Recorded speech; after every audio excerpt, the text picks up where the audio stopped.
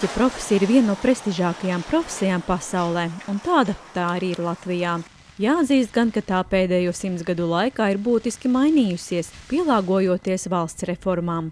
Šodien viesosimies vienīgajā traumatoloģijas ortopēdijas slimnīcā, kas savu mājvietu radusi Daugavas kreisajā krastā, Rīgas otrajā slimnīcā. Ēkā, kurā atrodas slimnīca, tika celta 1911. gadā. Vispirms šeit ir bijis pansionāts trūcīgajiem Rīgas iedzīvotājiem, vēlāk tajā atradās kara hospitāls, un 1959. gadā tika dibināta Rīgas otrā slimnīca. Nu, tā slimnīca ir apmēram ir simts gadi jau kā korpus. Un eh, pārējais ir pārdzīvojusi Pirmo pasaules karu, Otro pasaules karu. Un sākumā bija slimnīca, pēc tam bija pansionāti un citas nozīmes tāds aprūpas e, iestādē. Nu, otrā pasaules karā, protams, bija arī slimnīca. Pēc otrā pasaules kara nu, Rīgā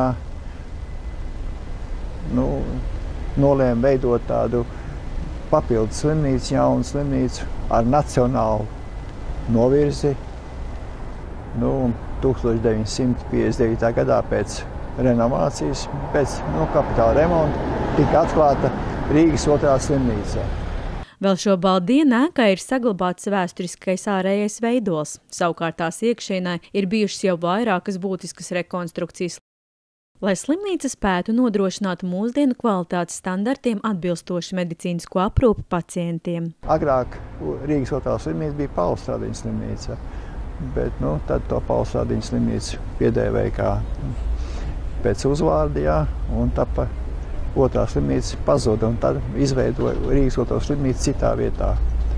Pēc renovācijas viņa bija moderna slimnīca ar tādu nacionālu novirzi, Nu, protams, ja tā kā nacionāla tādas novirzes bija, tad ilgstoši viņa varēja tā pastāvēt.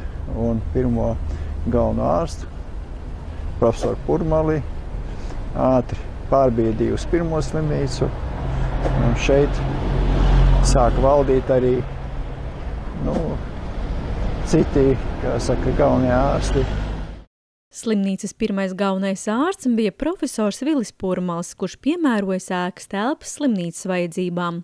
Ārstniecību turpinājis attīstīt otrs galvenais ārsts Filips Sagolovskis. No slimnīcas atvēršanas dienas līdz aiziešanai pensijā šeit strādāja viena no slavenākajām terapeitēm Latvijā - Skaidrīta Baldovska, kuras darbu atzinīgi novērtēja gan valdība, gan pacienti.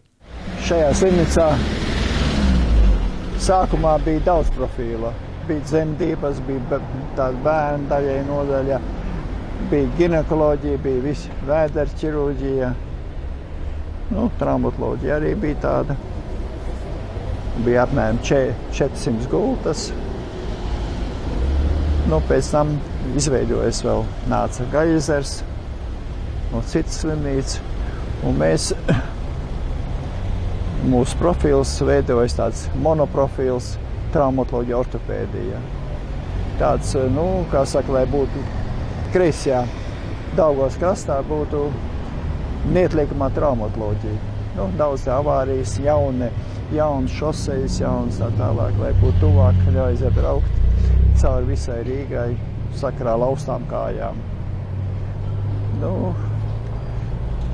traumatoloģija mums pastāvēja no 17. gada Savukārt lielāko devumu slimnīcas pastāvēšanā un tās attīstībā ir sniedzis pašreizējais slimnīcas vadītājs, veselības aprūpas speciālists un traumatologs ortopēds dakteris Jānis Petronis. Es pats sāku šeit strādāt kā parasts traumatologs ortopēds 1970. gadā. Nu, pēc trim gadiem es kļuvu par vietnieku galvenajam ārstam. Pēc tam vēl pagāja astoņi gadi nu, par galvenā ārsta pēc tam par valdes priekšsēdētāju. Un tā es turpinu līdz šai dienai. Dakteris Jānis Petronis ir traumatologs, ortopēds un veselības aprūpas ārsts. Sešus gadus mācījies Rīgas medicīnas institūtā, ko absolvējis 1966. gadā. Pēc institūta beigšanas bija nosūtīts darbā par galveno ārstu Gulbenē un 1970. gadā pārcelts uz Rīgu un sācis strādāt par traumatologu ortopēdu Rīgas otrajā slimnīcā. 1973. gadā bija iecelts par šīs slimnīcas galvenā ārsta vietnieku, kur 1980. gadā kļuva par Rīgas otrās slimnīcas galveno ārstu un vadošo traumatologu ortopēdu Rīgas pilsētā. 1994. gadā tika iecelts par Rīgas otrās slimnīcas direktoru. Viņš ir izteikts darba holiķis. Viņš bez slimnīcas vispār, manuprāt, dzīvot nevar. Jo slimnīcā viņš ir gan agrā rītā, gan vēlā vakarā, gan izējamās dienās.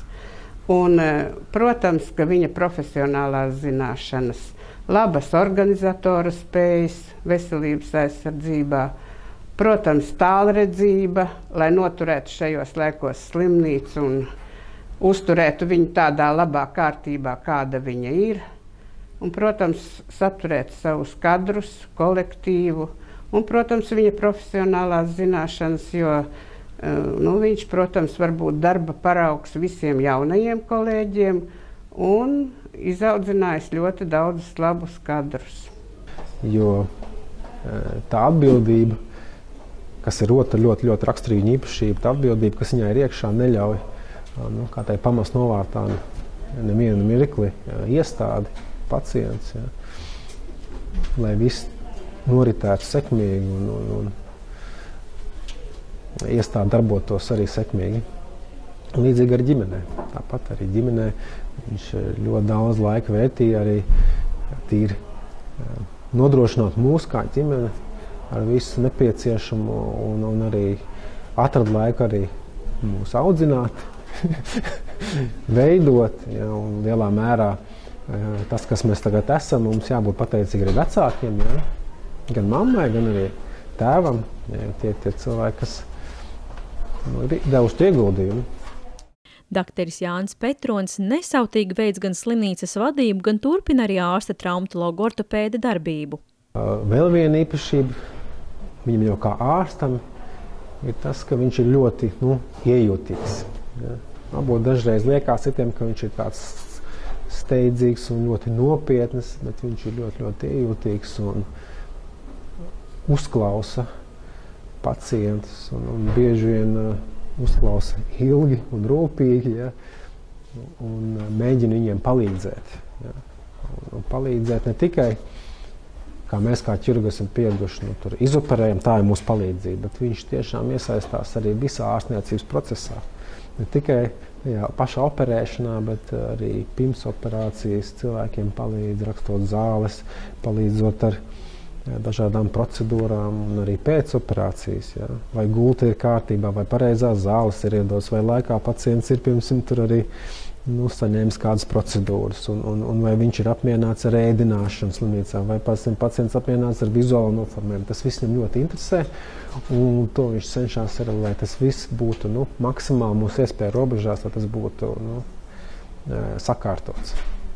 Šādu nesautīgu darbu spāru spēja dot tikai liela mīlestība un cieņa ne tikai pret savu profesiju, bet arī vietu, kurā strādā. No nu, man ir novērtējuši arī valdībā piešķīrusi dažādas pateicības rakstus un trīsvaigžņu ordeni un tā tālāk. Ja. Nu, tās jau tās mājas. Rīgas otro slimnīcu par savām mājām nu jau dēvē arī ārsts traumatologs ortopēds Sandris Petronis. Kā lai to saka, ļoti personīgi uztver viņu. Tā nav tikai mana darba vieta, Tā nav tikai vieta, kur es eju strādāt un saņem atalgojumu, bet tā ir vieta, kuras uzsver arī tāda personīga atbildība. Jo redzot to mīlestību pret darbu, ko veids tēvs ikdienas, vies arī iekšējo pārliecību Sandrim iet tēva pēdās un turpināt viņa gaitas. Es domāju, ka tur liela e, ietekme arī ir bijusi ģimenei. Pat cik man abi vecāki ir mediķi, Un, uh, daudz ir jautājuši, vai tev būtu pierunāja vai kaut ko stāstīja. Nu, tā nav bijis. Es izvēlēju, nu, man bija atļauts izvēlēties pašam, un tas no manis nāca dabiski. Un, es domāju, ka tie faktori, kas ir ietekmējuši, tā vide, kurā es dzīvoju. Jo cik es atceros sevi, es atceros šo slimnīcu. Jo man netālu bija arī bērns, un, un es ļoti bieži nācu arī pie tēva ciemos. Un ir vecāki darbinieki, kurš atcerās, ka es gāju tāds maziņš un zīmuļi grabēju somā. Un, un es pat pats to neatceros. Bet viņi atcerās. Un, un, līdz ar to man šī slimnīca nu, ir ļoti tuva. Un, sākot no smaržām un beidzot ar jebkuru ja darbību, kas tiek šeit veikta. Līdz ar to man likās ļoti dabiski arī šeit to turpināt. Ja. Kā piemēram, būtu piemērs, kad uh, lauku sētā, ja, kad tēvs strādā, un tad dēls strādā, un tā arī turpina strādāt. Un otrs, es domāju, ka retrospektīvi skatoties, ka otra lieta, kas man ietekmē, ir arī nu, pats tēvs, kā personība, un arī, arī kā ārsts, kurš ietekmēja mani, es domāju, mm, caur to, ka rādīja labu piemēru. Viņš nevienā brīdī neteica, ka Sandra, vai tu negribi būt traumatologs, vai būt tev jābūt tādam. Viņš vienkārši ar savu piemēru, ar to, kā viņš uh, strādāja, ar to, kā viņš dzīvoja, viņš radīja to ietekmi, un, kas man deva to virzību, uh, turpināt viņa pēdās. Iet. Es domāju, ka tas ir aura, ģimeniskā aura. Jā. Nu, protams, ir galvenais ir ja viņš blakus strādā, nu, lai viņam veiksme būtu, protams. Ja? Un, un tāda godīga attieksme pret specialitāti. Nu, un, protams, arī pacienta atzinība. Nu, es domāju, ka daļai tas ir sasniegts. Un es domāju, ka nav slikti, kad strādā vienā iestādē arī ģimenes cilvēki. Protams, ka tas uzliek arī papildus atbildību un liek pie katra iesāktā darba pieķerties ar vislabākajiem nodomiem. Un maldīgs būs uzskats, domājot, ka savu ārsta uzsvārds citas Andris ir iegūs pateicoties tēva vārdam. Tā nav, jo savas gaitas ir sācis no zemākā pakāpiena punkta. Es ne tikai tā esmu teikt, uzaudzis, ja tā var teikt, pa pēcpusdienām vakariem, bet arī strādāju šeit no 93. gada no 1993. gada. Un savu darbu šeit sākās sanitārs. Ja. Vienkārši runājot ar dibenu mazgāšanu. Un tagad es esmu, pēc tam es biju pildīju medicīnas māsas pienākumus, pēc tam ārsta pienākumus, tagad vadu arī nodaļu, bet viss tādā secībā, un principā man pilnīgi skaidrs, ko nozīmē grīdas mazgāt, man ir pilnīgi skaidrs, ko nozīmē pacients mazgāt. Ja? Un pilnīgi skaidrs ir, kā visas injekcijas taisīt, un, protams, arī pašas operācijas. Un tagad jau mans darbs ir pavēršās vēl plašāks, ka man jādomā, kā citiem organizēt darbu, lai viņi paveiktu savu darāmu.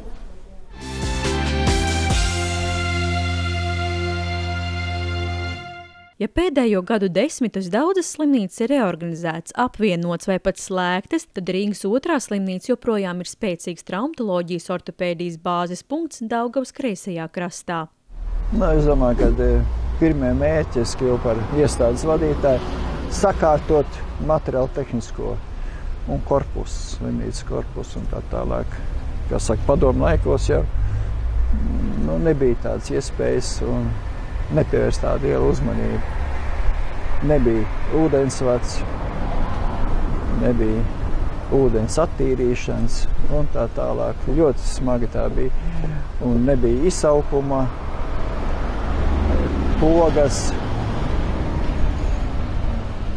telefonizācija, jā, viss telefonizācija, jā, viss ir nu, sakars sistēma, viss vai dieniņu. Protams, arī tagad nu, e-pasts, lai darbotos katrā nodaļā, katrā kabinetā un tā tālāk. Ja tā padomā, tie vadi slimnīcā iekšā un tā tālāk ir nevis tūkstoši kilometru, bet vairāk. Jā, ļoti daudz tas ir. Bija sākumā bija materiālu tehniskos un korpusu un pašas iestādes vizuālo uzlabot. Ja?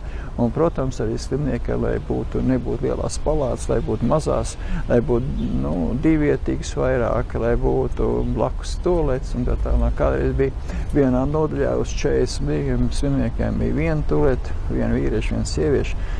Tagad ir desmit un tā tālāk. Ja? Lai nebūtu jāgaida.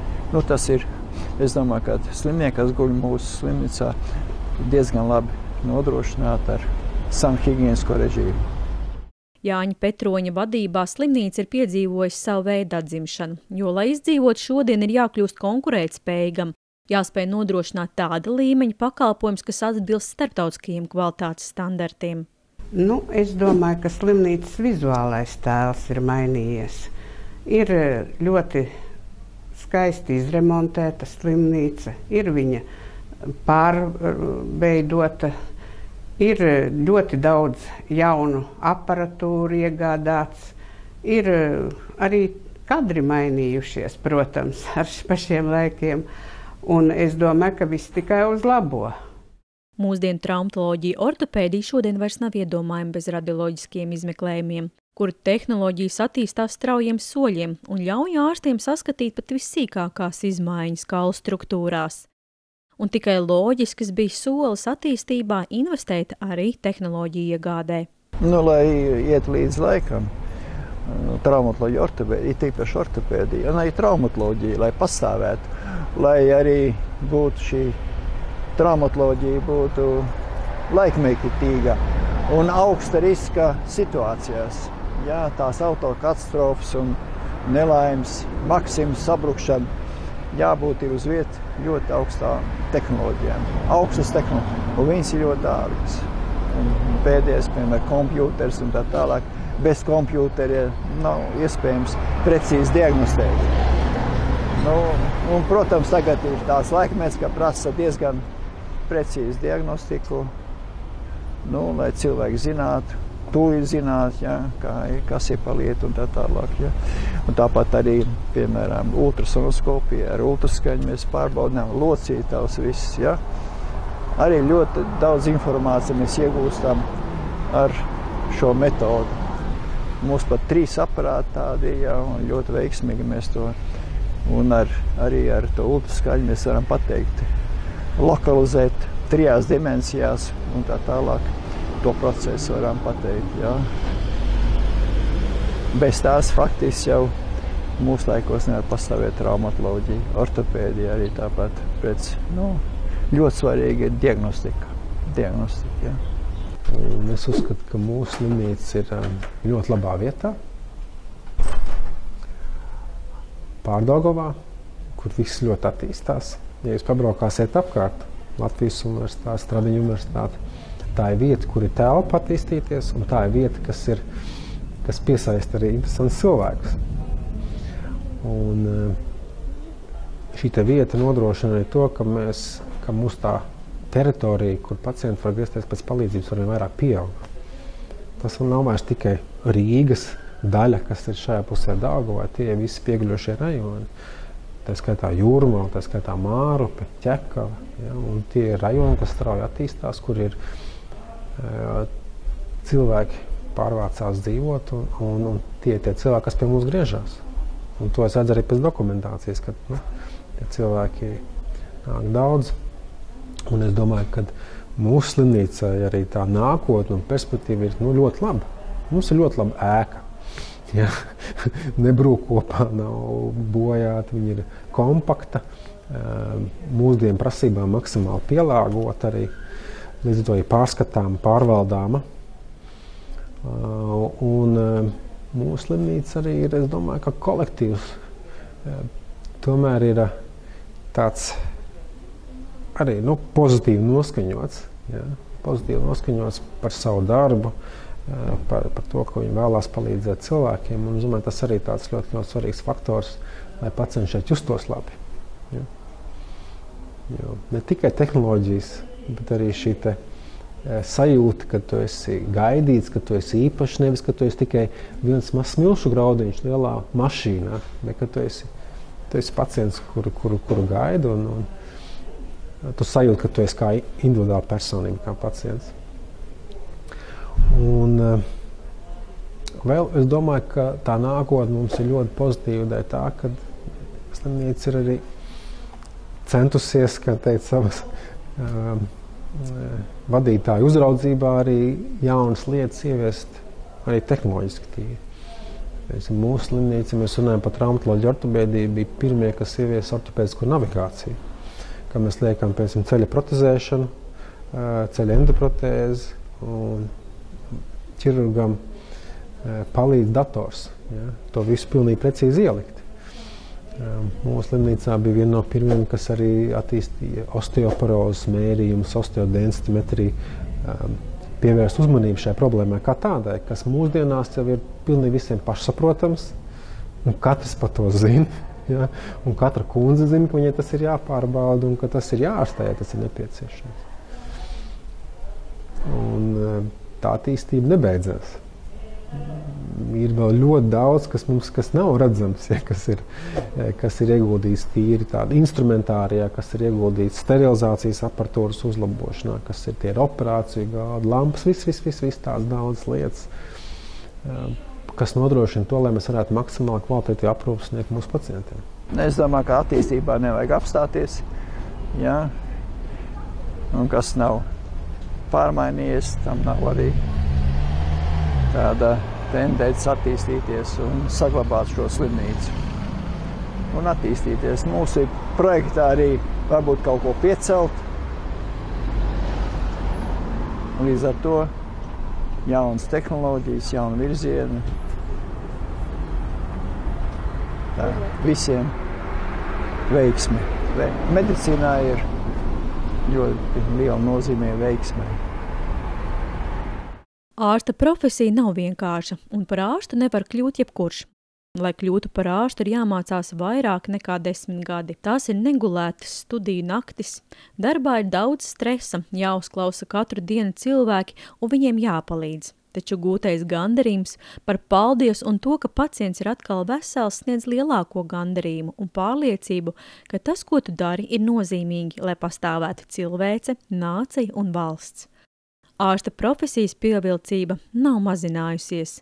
Ārstus mediķus mums vajadzēs arī 10, 20 un 100 gadus uz priekšu, un mēs patiesi arī nākamajā Latvijas simtgadē varēsim lepoties, ja mūsu medicīnas iestādēs strādās tādi speciālisti kā Jānis Petrons, kas negurstoši, neskaitot laiku un stundas, turpina ne tikai vadīt vienu no vecākajām medicīnas iestādēm Latvijā, bet arī turpina ārsta darbu.